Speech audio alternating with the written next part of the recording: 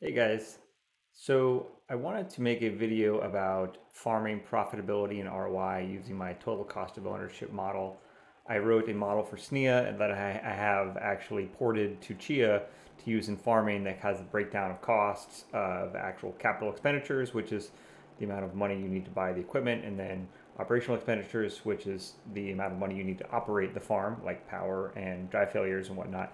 Um, and I had this very complicated spreadsheet, and I recorded this hour video, and um, you know I thought it was too technical to post up on on YouTube. But what I did do is send it to a couple folks, and one of the people I sent it to was the guys at Chia Calculator, and they have come up with something really cool. They basically ported my spreadsheet and TCO model into a web-based total cost of ownership calculator. So this is freaking awesome.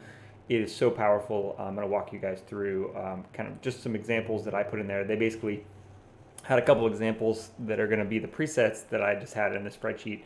One of the things I was trying to accomplish in the spreadsheet was to show, um, you know, using older drives and smaller drives can be very cost effective for the capex, but you know, smaller drives consume more power and they take more money if you're going to run them for five years. It takes a lot more energy and electricity costs over that time. So this is a very nice way to show that and break down the costs. The good thing uh, as well is you can, um, you know, if you know your costs and you know your profitability, you can easily forecast what the return on investment will be. So thankfully, uh, the good folks at Chia Calculator, Joel and company have just basically included all that here in the model. Um, so the, mo- the way this works is you basically decide your deployment term, which is one year, three years, or five years. Um, I think it's good to look at uh, Chia over a longer term horizon. Now, the, the problem with looking at over one, three, and five years is for five years, it's very easy to understand how much the storage will cost you. It's much harder to forecast what the Chia price will be and the net space will be in the future. But at least for the total cost of ownership, it's very easy to know how much it will cost you for one, three, and five years.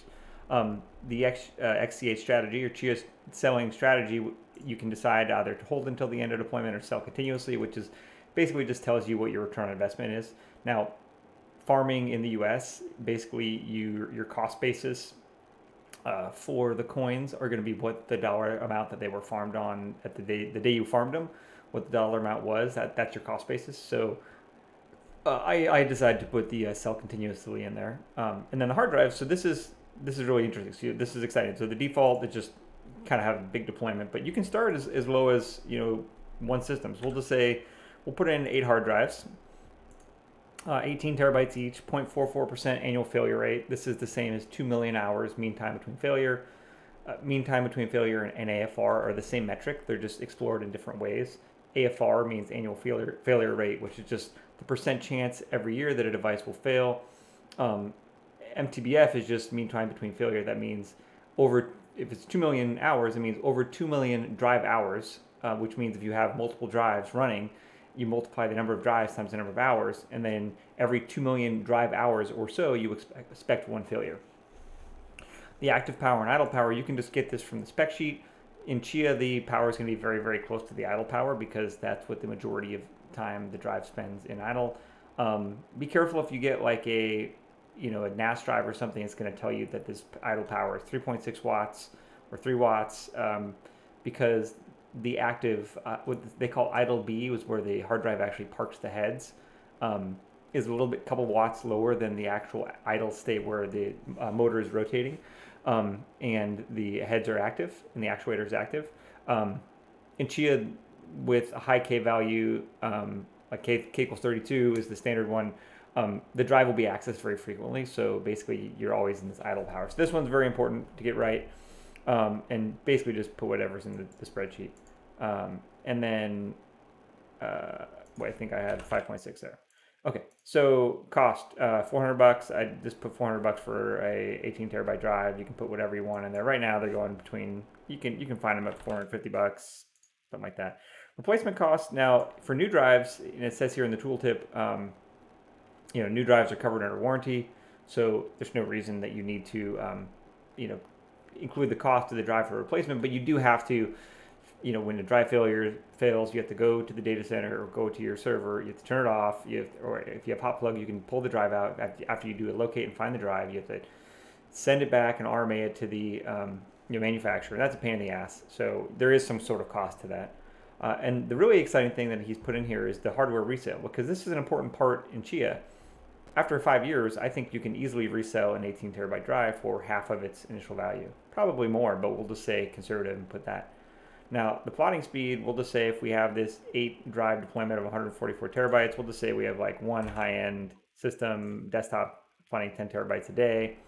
Plotting power use, you know, I have um, done a lot of analysis here in the spreadsheet for Mad Max, and the most efficient systems are about at 0.5 kilowatt hours uh, per terabyte plotted. Less efficient systems are like 1.5 to 2. So you know we put one in here just kind of as the default, but you can you can you can actually measure this if you want. And then the initial space of plots if you wanted to look at the ROI here below. Uh, and then the hardware cost. This is everything else that is not um, uh, basically everything else that's not the storage. So if you were to store eight drives, you could probably do that in a small enclosure or a small desktop. And so we'll just put, for the sake of brevity, $200 and you know 50 watts. Uh, maybe that's some fans and a power supply. That's probably uh, a little high. Oh, so careful here. I, there's watts and kilowatts. Uh, if I want to put 50 watts, I make sure I got to have it in watts. Uh, and power cost. I'm in California, so 15 cents a kilowatt hour is not too terrible. So from here, you can basically calculate the entire total cost of ownership. So this tells me my total cost was $4,000 and uh, 4450 uh, dollars, so 4.45k, and it's 30 dollars and 87 cents per terabyte. This is the most important metric because you really need to normalize it.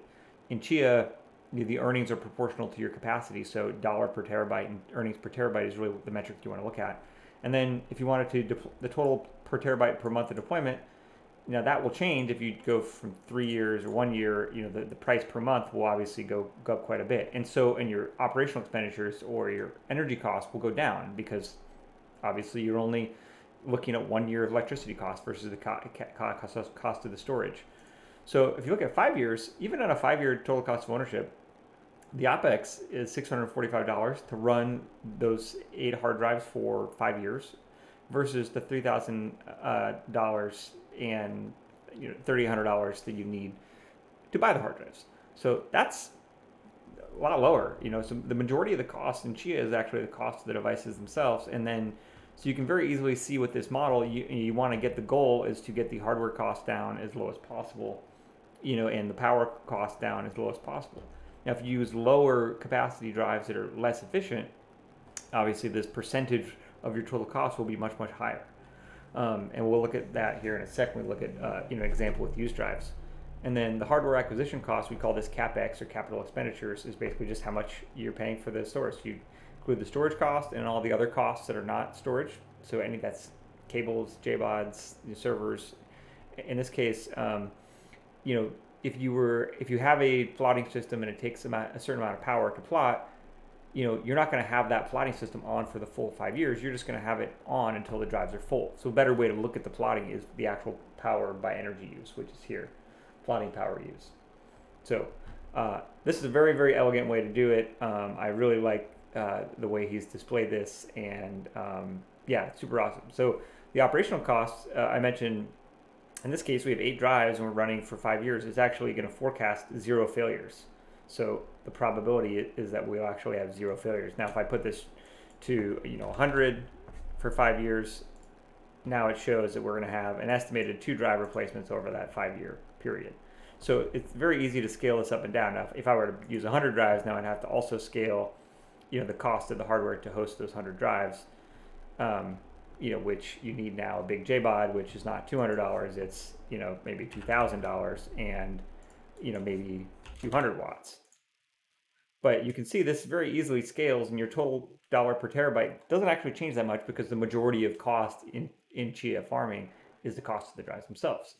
So your dollar per terabyte is not going to change very much, but your total cost is obviously going to go up quite a bit when you have higher higher number of drives. And the operational cost, so you have your storage power and then your power for all the stuff to support the the, the hard drive. So obviously for Chia you need a farming node, so you need some sort of CPU node that does the farming, and then you need some some way to hold the drives. And then you have the plotting power use, and then you failed drive replotting power use. So you have to replot when you have a drive failure, and you have to you put in whatever replacement cost you feel is fair for you know when when it happens when you have a device failure. So this is it. This is so awesome. Now the really cool part is he's actually included the ROI and return on investment here in the bottom, which is based on the old Chia calculator, but with some new cool tricks. And so if we take the uh, network size, which is 34.9 EIB or 40 exabytes today, and we can basically just put in, um, you know, kind of what we think for the future. So I'll just say like, you know, 100 petabytes of growth. If we're going to look at it over five years, you know, um, yeah, that may be realistic. You know, who knows what, what who knows what the net space is going to be in five years, but you can just put in any number you want. And then you can basically put whatever you want for the yearly price growth for Chia. So today the price is $256. And if I say that the price of Chia in the future is going to be here in five years, um, the exchange rate is $2,000 or $1,930 uh, per uh, XCH. You know, this is just something reasonable. Now, who knows what the price is going to be, obviously, uh, but this is where it gets fun and you can kind of model some different scenarios. Uh, and in this scenario, uh, basically, I'm going to have earned 176.9 Chia after five years of farming, and um, that would be estimated 104,000 US dollars, and I would have $75,000 of profit. Uh, because I can resell that hardware. I'm saying, okay, my hardware is worth 50% of what I purchased the hardware for, which I remember was $52,380 uh, in this case. And so you basically take the money you earn from Chia plus the value of your equipment after whatever time you've done farming, and then you look at the return on investment. Now, if you want to basically take that away, you can basically turn off sell hardware after five years and just look at just the profit without having to, um, you know, look at, uh, you know, the hardware cost. And so this is awesome. 14.8% annual return over five years. ROI after five years is 100%. Um, so this is where we're at today. Uh, this is very, very powerful tool. Um, I'm very excited that we're going to now have a, a web app uh, for the total cost of ownership calculation. And I know I had a, I spend a lot of time in Excel, but I know that a very confusing spreadsheet is probably too much for a lot of people to dig into, but this will be fun for a lot of people to play around with and figure out their costs and farming profitability. So um, again, thank you guys to Joel at Chia Calculator. This is amazing and uh, very excited for the release of this. Bye bye.